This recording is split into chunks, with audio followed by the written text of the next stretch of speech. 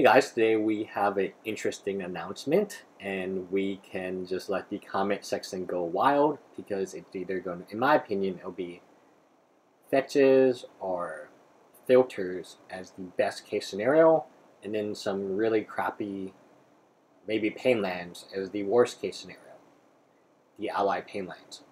So from the full deck list, once when the full deck list become available, you may notice that we did something unusual with the mana base. We normally don't put rare dual lands in commander pre-constructed decks. We prefer to put those types of cards into products intended for a wider audience, which is meant to sell booster packs or master products. We know that four color decks presented a special challenge for getting access to all your colors of mana.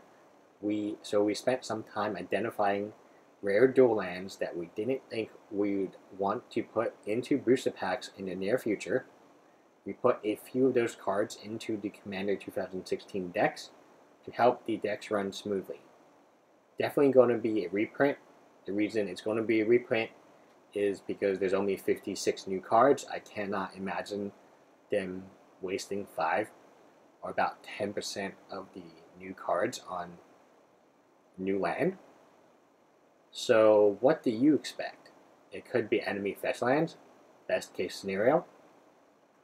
It could also be the filter lands, and you would get all 10 of those, right?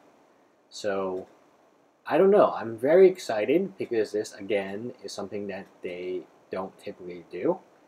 And whatever the card is, its price will plummet into oblivion. So leave me a comment below if you have a guess as what it is.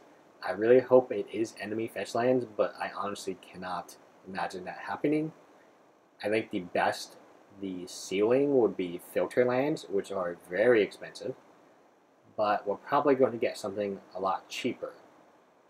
Maybe the ping land cycle again. There's 10 of them. I don't know. It would be pretty cool to see the fast lands back, or the man lands even though they are part of standard currently? I really don't know because the cycle has to be rare. And I'm thinking it could be fetch lands, but I don't want to get my hopes up too much because obviously some of the fetch lands cost quite a bit of money. Anyway, leave me a comment below what you think the dual lands will be, and we'll guess we will find out soon. Bye guys.